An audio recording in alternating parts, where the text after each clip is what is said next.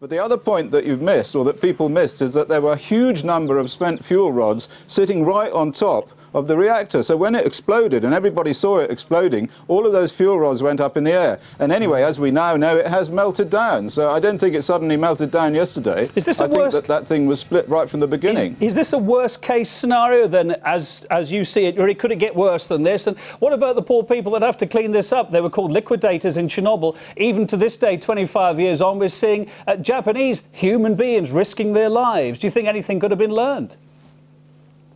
I don't think anything could be done. The problem is that under those very high radiation fields, robots don't work, and they certainly found that at, at, Chernobyl. At Chernobyl, they hired, they paid huge amount of money to the Germans to provide robots to go in there and remove the, the, the pieces of fuel, and the robots just packed up. They didn't work because under those radiation fields, the electrons, the, the electronics don't work. So you have to use people. Unfortunately, I don't think that even with the people there's much that they can do. The thing is out of control, and we have a sort of science fiction scenario now. I think it's going to be very, very bad for Japan, but at the moment I don't think it's going to be quite as bad for the rest of the world. Luckily, because there's a very large Pacific Ocean between Japan and the next major landmass, although I have to say there are increases in radioactivity occurring now in California, just in the last information in the last few hours. So what, really what you're saying is we're not being told maybe the full picture as it's developing. And what about Tokyo? What, what fate lies ahead for Tokyo with its huge population? Well, uh, I have got data that shows that there are increases in radioactivity even to the south of Tokyo. So, given the, the large population of Tokyo and the population in the next section uh, close to the, to, the, to, to, the, to the site, there have been exposures to radionuclides. The main problem, of course, is not the radionuclides that show up on the gamma radiation monitoring systems, but the alpha-emitting radionuclides like plutonium and uranium, because these are invisible. They, they're, they're not being detected. And I have to say that we're not being told everything. And right from the beginning, we weren't being told everything. And this is one thing that happened with Chernobyl as well. The, that, that is another parallel between these two situations, is that we don't get told anything, and, when, and, and the, the truth slowly comes out as if it's being dragged out of people. Mm. How much of a blow has this been for the nuclear industry, or is it too, too difficult to say at this time? Well, I would hope that it would mean that the nuclear industry was finished. I, I mean, we can't. Uh, this is certainly going to Uh, in my opinion, it's going to finish the north of Japan off. I don't see what they can do about it. They're going to have a very large exclusion zone. The cost is going to be absolutely phenomenal. So the nuclear industry, I think, is finished. But then I thought that after Chernobyl, to be honest. And what happened there was that there was a massive cover-up, an international cover-up by the nuclear lobby of all the health effects of the Chernobyl accident, which is only just coming out now. We now know, as a result of research, that at least a million people have died as a result of the Chernobyl accident. Yet we still have the nuclear industry telling us that only a few liquidators died and there really wasn't any problem except thyroid cancer in a few children, and that can be cured. That was a pack of lies, and I think we're going to get another pack of lies after this, so people should watch out. Professor Christopher Busby, Scientific Secretary of the European Committee on Radiation Risks, as you are. Thanks for being on RT tonight. Appreciate it.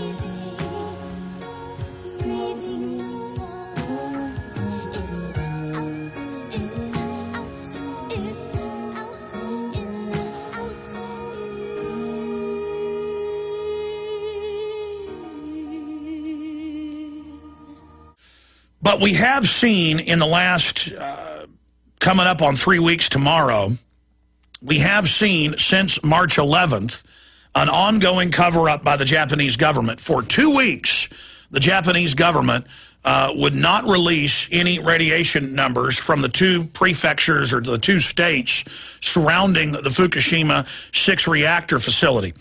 Yesterday, they, were, they reported another reactor um, seven miles away uh, is now smoking and, and, and, and may be on fire. Most of the emergency personnel were pulled out more than two weeks ago. The U.S. military pulled back to 200 miles away uh, two weeks ago. Uh, last week, the U.S. military uh, said they may begin forced evacuations of U.S. personnel and citizens. And we've gotten many calls on and off air saying that indeed the U.S. military is going to addresses of U.S. citizens and telling them to leave. Major corporations, major media outlets from around the world, France, the U.S., you name it, have completely pulled out of Japan. The government announced two days ago that it's a maximum uh, alert, uh, the greatest alert since World War II that they have been under. We know that at least five of the six reactors have either completely exploded, two of the internal containment vessels have been breached.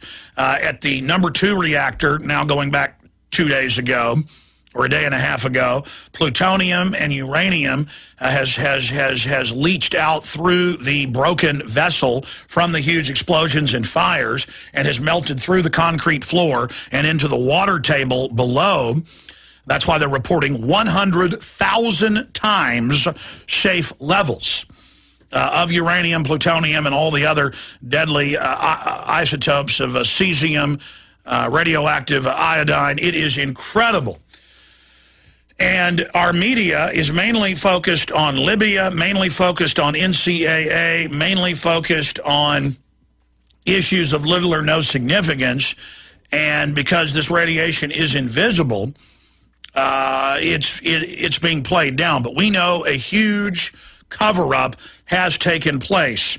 And we know as of a week ago, radiation had already uh, gone from Japan over the Pacific, over North America, over the Atlantic, first reaching Iceland, then England, and now uh, Western Europe, going into Eastern Europe, and will soon go all the way around the globe and pass over Japan again via the trade winds and jet stream. It is in the jet stream. Uh, thank God most of it is raining down in the Pacific before it gets caught up in the winds. And it's going out over the Pacific, and most of it's going in the water.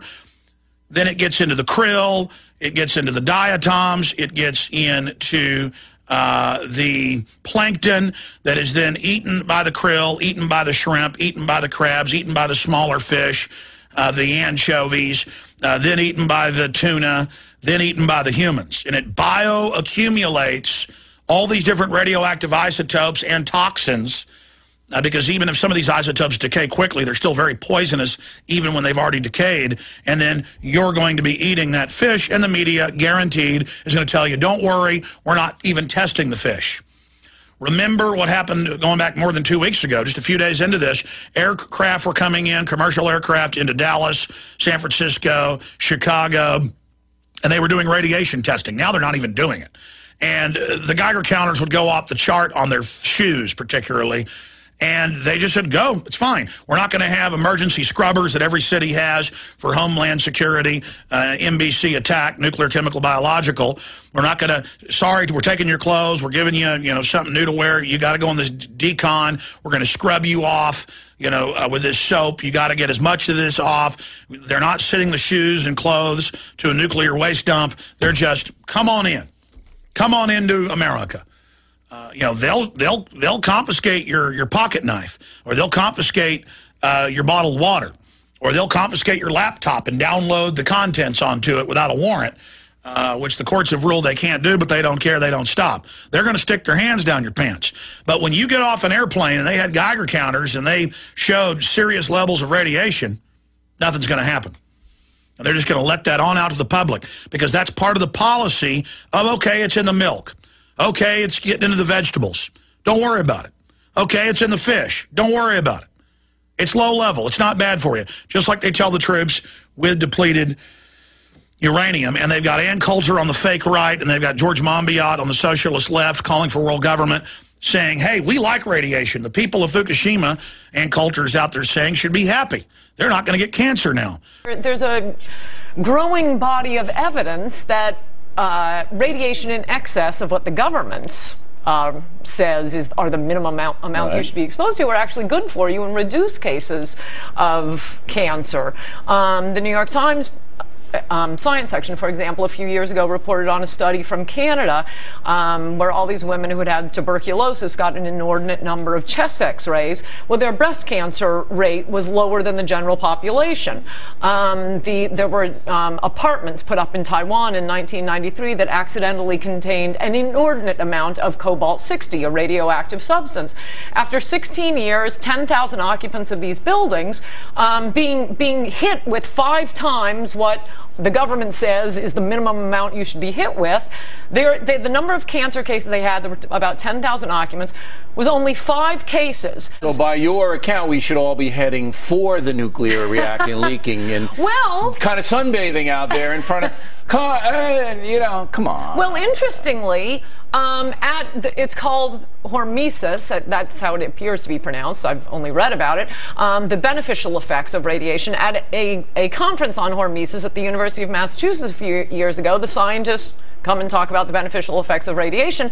Then they went to a spa in Boulder, Montana, where people pay to go 85 feet into the ground, into a mine, in order to be exposed to, to excessive radiation. levels of radiation all because right. they think it's good for you. But I don't want to, I want the audience to be very cautious about all this. It's all theoretical at this point. But the but point there, is, there is that the no media doubt, will not report this. Of course not. Because uh, really, uh, Fox News, Japan's nuclear rescuers, inevitable, some of them may die within weeks.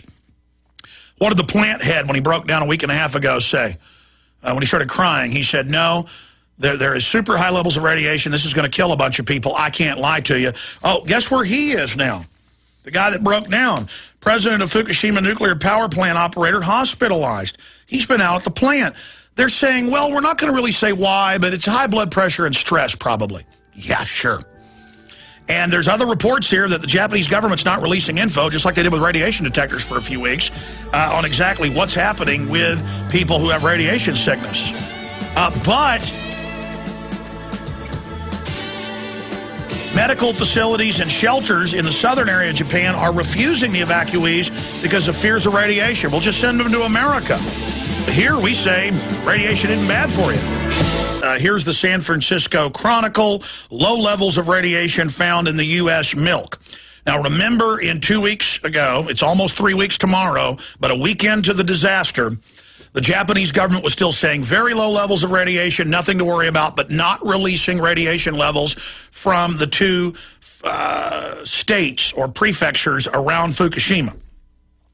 When they finally released it, it was 1,600 times, 10,000 times, and now, as of Sunday, 100,000 times safe levels, and we have seen uh, clear evidence of cover-ups at the hospitals with reports of the citizens uh, upwards of 50 kilometers away getting red-faced, vomiting, bleeding gums, radiation poisoning. Now we're seeing the articles. We're seeing the head of the plant break down a week ago and cry, or more than a week ago, and say that I can't be part of the cover-up. People are going to die. Now in the news today, Japan's nuclear rescuers, inevitable, some of them may die within weeks. Workers at the disaster-stricken Fukushima nuclear plant in Japan say they expect to die from radiation sickness as a result of their efforts to bring the reactors under control. The mother of one of the men tells Fox News. And that's the same calls we're getting the, the vomiting, the bleeding in the mouth. It first hits your gums, fast-growing cells. You ever burned your mouth eating pizza that's too hot and it like heals in a day, but your regular skin wouldn't? It's a fast-growing cells of the intestines and the mucous membranes in the sinus and in the mouth, ladies and gentlemen, and other areas, other delicate areas of the body. Uh, the so-called Fukushima 50, the team of brave plant workers struggling to prevent a meltdown to four reactors critically damaged in the March 11th earthquake and tsunami, are being repeatedly exposed to dangerously high radioactive levels as they attempt to bring vital cooling systems back online. I'm going to say this again because this is what every nuclear physicist we've interviewed has said, from Dr. Busby chemical physicist, Dr. Bob Bowman, three degrees in nuclear physics, former head of the Star Wars program, and many others that we've read in the mainstream press, that yes, background radiation in Europe and North America where this stuff blew over is only a little heightened, but that's the general background radiation. If one microgram of plutonium or uranium that's been splattered all over that area and ejected into the sky, that can then, uh, pieces of seaweed that dry and then get into the atmosphere, that blows over. And so the Geiger counter, and we've seen this now with the different radiation monitoring stations, they'll suddenly go from, from only a little bit of radiation to bzzz, a lot as the piece of highly, of, of highly radioactive material blows by.